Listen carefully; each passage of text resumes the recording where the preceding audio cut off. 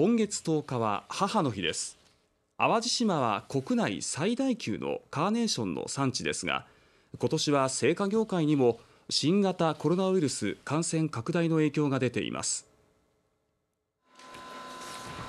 淡路島は国内最大級のカーネーションの産地でおよそ70個の農家が栽培していて栽培農家の井上正俊さんの温室でも赤やピンク、白といった色とりどりのカーネーションが摘み取られています。JA 淡路日の出では毎年母の日に向けて1日に5万本ものカーネーションが出荷されますが今年は新型コロナウイルスの影響でイベントや結婚式などの中止が相次いだため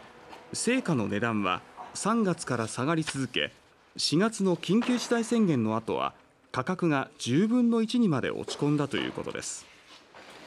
しかし母の日のカーネーションは外国からの輸入が激減していることや暖冬の影響で国内の生産量が少なかったため価格は例年並みに持ち直しているそうです。かなり生産者はきつい思い、えー、してきたんですけどもなんとか母の日には単価は、まあ、皆さんのおかげでどんどん上がってきているので、まあ、なんとか母の日最後の出荷に向けて頑張っていきたいと思います。JA 淡路日の出では母の日用の贈り物として